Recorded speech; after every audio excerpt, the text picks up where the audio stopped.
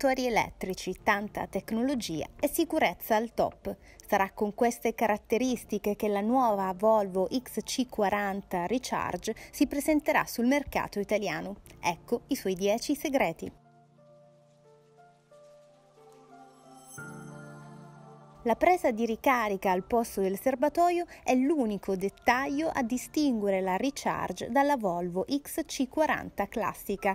Il resto non cambia. Dimensioni compatte, frontale imponente e il classico giro del fanale come marchio di fabbrica.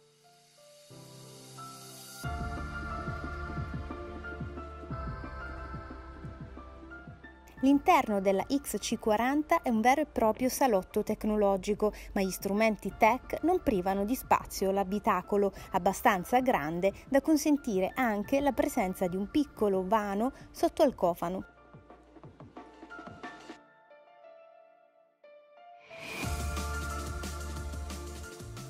Cuore pulsante della nuova Volvo XC40 Recharge sono i due motori elettrici, uno posizionato davanti, l'altro dietro, per una velocità di 180 km l'ora e un'accelerazione da 0 a 100 in appena 4,9 secondi.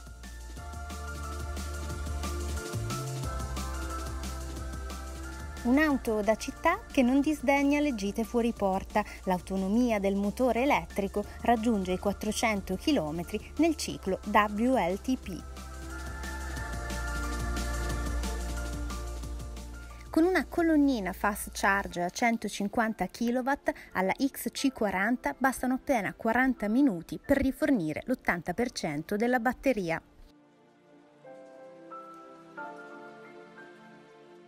Il sistema di infotainment è in grado di ottenere aggiornamenti costanti e wireless. In pratica, con il passare del tempo, la Volvo si aggiorna da sola, mentre il driver, durante la guida, può accedere a Google Maps, Play e Assistant.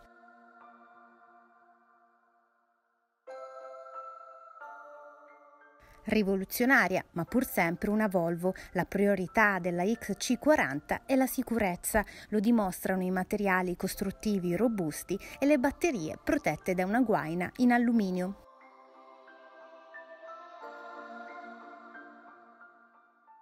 L'emergenza non ha modificato la strategia Volvo. Puntiamo a portare la quota delle vendite di auto elettriche al 50% del totale entro la fine del 2025, ha dichiarato la casa.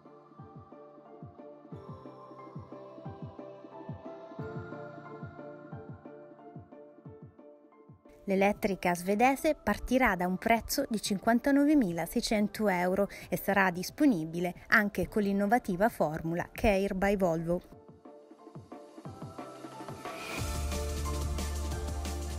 In Italia le colonnine di ricarica sono ancora poche, ecco perché Volvo opterà per un lancio graduale. La nuova XC40 Recharge arriverà nel nostro paese tra la fine del 2020 e le prime settimane del 2021.